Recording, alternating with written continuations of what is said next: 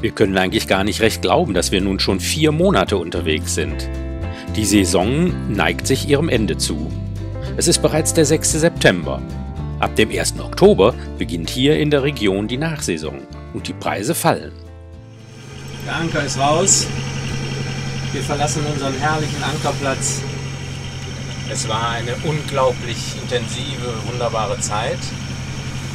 Jetzt freuen wir uns auf unseren zweiten Anlauf in Schipiona. Der große Fluss Guadalquivir mündet hier in den Atlantik, in der Region Andalusien, der Provinz Cadiz.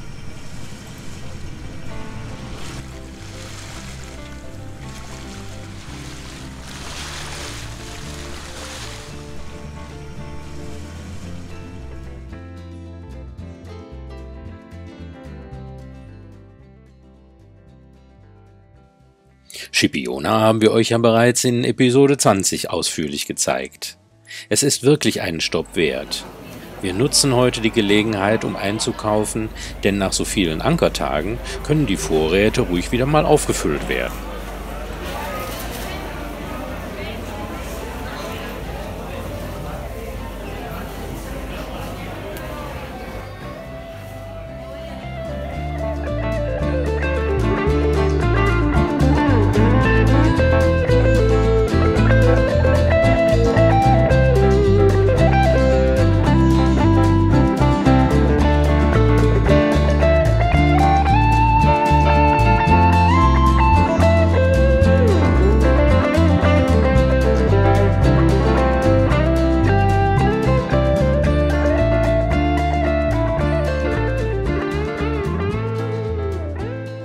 Wir bewegen uns ja jetzt praktisch wieder zurück in Richtung Algarve und nutzen nun die Erfahrungen der Hinfahrt.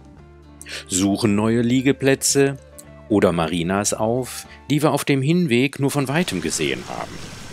So geht es jetzt von Schipiona an den Ankerplatz vor der Marina Masagon.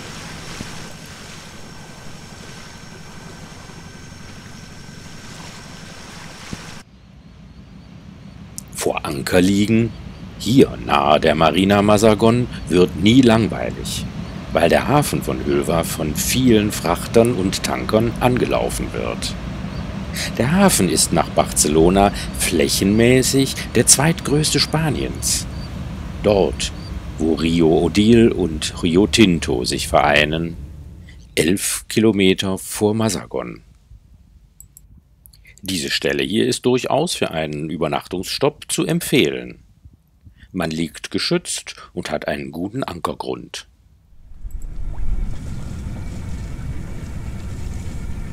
Das ist unser Ankerplatz vor Masagon. Wir haben gerade den Anker hochgeholt und laufen jetzt aus.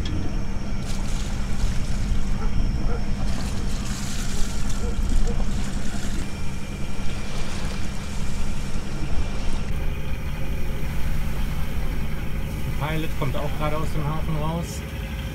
Ah ja, der geht da draußen an den Rand. Da hinten kommt einer raus. Da kommt der Pilot. Und hier vor uns kommt einer rein. Da kommt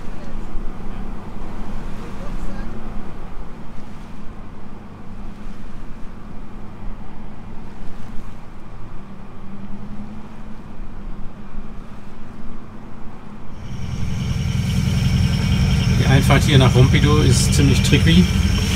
Viele Sandbänke. Und die Karte stimmt nicht mit dem überein, was in der Praxis ist. Also da muss man schon ganz schön gucken. Zwischen der zweiten und der dritten Marina fällt schließlich unser Anker. Der Kontrast zum vorigen Liegeplatz könnte nicht größer sein. Dort liegt man geschützt, aber direkt neben dem Fahrwasser zur Großschifffahrt. Hier in einer Art Freizeitgewässer, wo lediglich einige Fischer aus- und einfahren. Am einen Ufer die Urbanisation El Rompido mit seinen vier Marinas, auf der anderen Seite ein herrlicher Dünenstreifen zum Atlantik hin.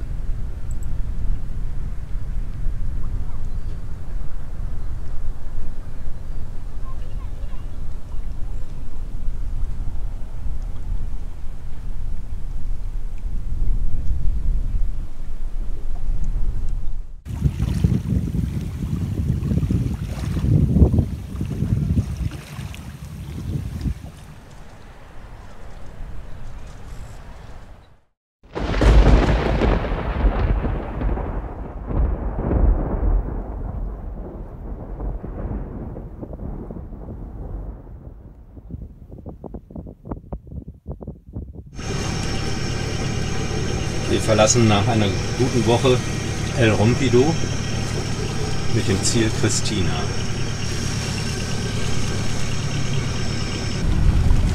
Man kann El Rompido nur bei Hochwasser verlassen, weil es eine sehr komplizierte Einfahrt ist.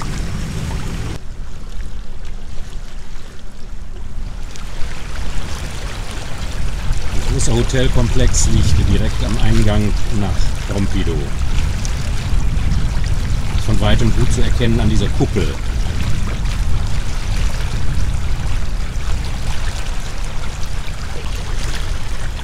Das war eine ziemliche Biesterei hier rauszufahren. Wir hatten teilweise nur einen Meter Wasser unterm Kiel, bei Hochwasser wohlgemerkt. Und wir haben drei Meter Tide hier.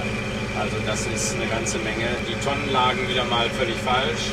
Und wie wir auch reingefahren sind, haben wir das ja schon gewusst. Kann man sehen, wie wir da ein Stück übers Land gefahren sind, scheinbar. Ziemlich eng ist es hier. Da hinten kommt die andere grüne, ne? Hast du Ja. gesehen, vor dem Fischer? Und da kommt dann die rote. Genau. Grüne. Ja, ja, da musst du rum. Ilde Christina. Vom Hinweg bereits bestens bekannt, laufen wir heute zum zweiten Mal an. Nicht nur, weil es uns so gut gefallen hat, sondern auch wegen der guten Einkaufsmöglichkeiten.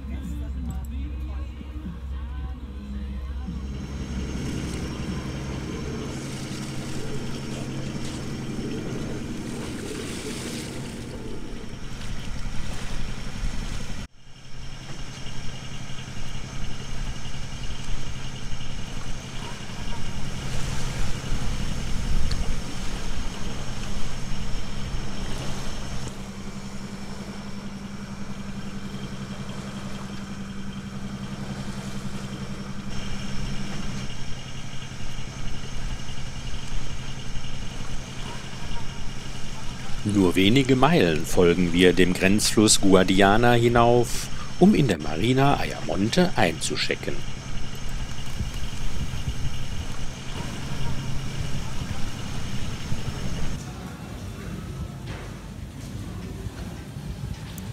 Ayamonte, Grenzstadt zwischen Spanien und Portugal. Keine sensationellen Sehenswürdigkeiten. Es lässt uns trotzdem oder gerade deshalb einige entspannte Tage erleben. Das Wetter ist ja auch hervorragend. Allein es fehlt der Wind zum Segeln.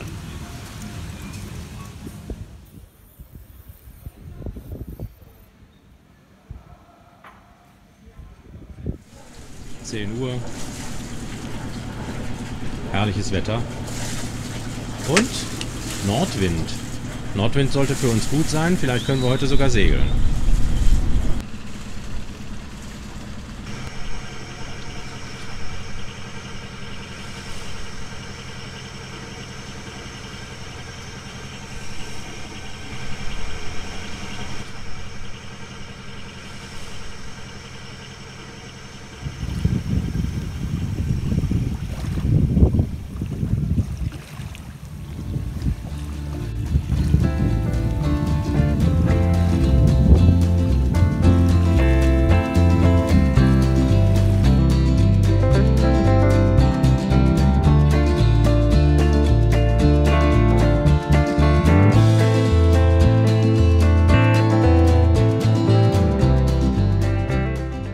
Schon im Juli, bei unserem ersten Besuch dieser wunderbaren Lagune vor Colatra, waren wir begeistert.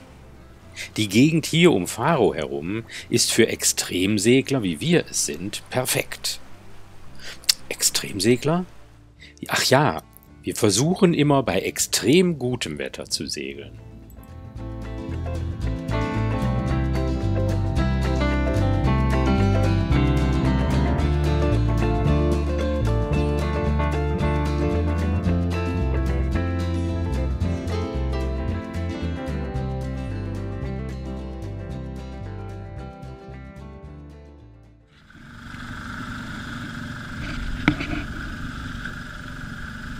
Gestern Abend habe ich eine Art Ausschreibung für unseren Winterliegeplatz gemacht. Fünf Marinas haben von mir eine entsprechende E-Mail-Anfrage für einen sechsmonatigen Aufenthalt bekommen. Jetzt sind wir natürlich sehr gespannt, wer das beste Angebot macht.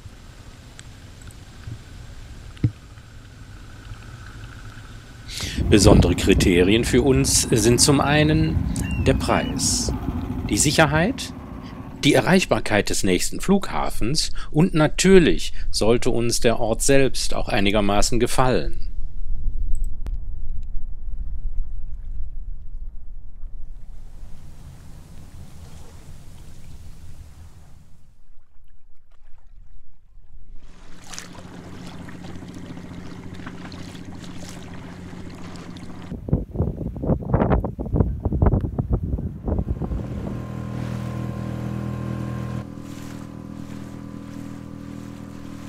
Wir bemerken nicht nur an der Zeitumstellung, dass wir wieder in Portugal sind, sondern auch daran, dass wir hier problemlos überall mit dem Dingi anlanden können.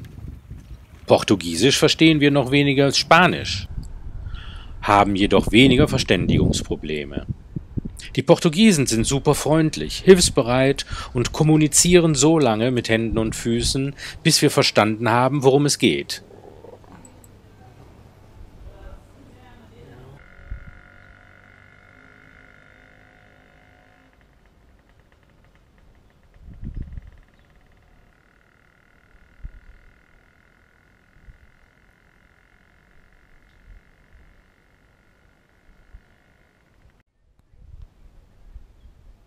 Hier auf Kulatra gibt es zwei kleine Supermärkte mit familiärem Charakter.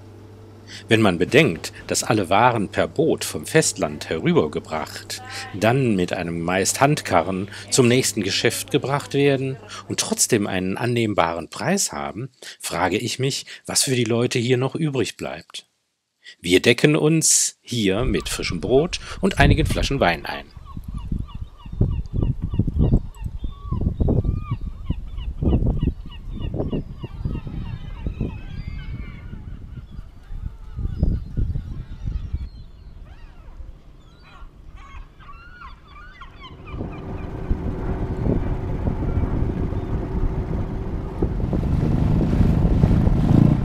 Auf der Rückfahrt zum Ankerplatz freue ich mich bereits schon auf Kapuziners mit Hackfleisch, Ananas, Zwiebeln und frischem Knoblauch.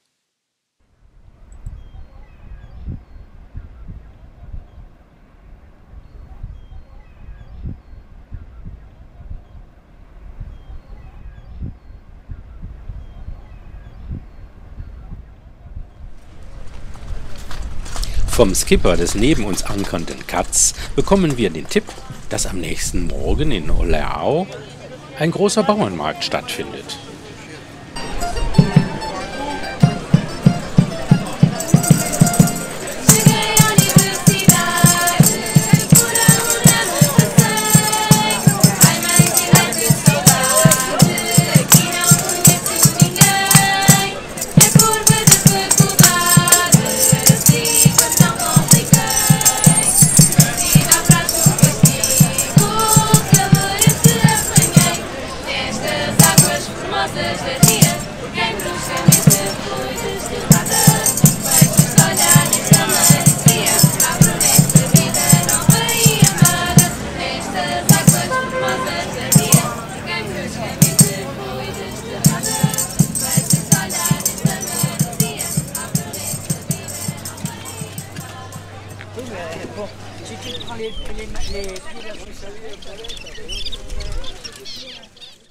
Herzlich willkommen im Mola Mola Kochstudio. Heute haben wir uns nach unserem Marktbesuch für ein ganz einfaches Gericht entschieden.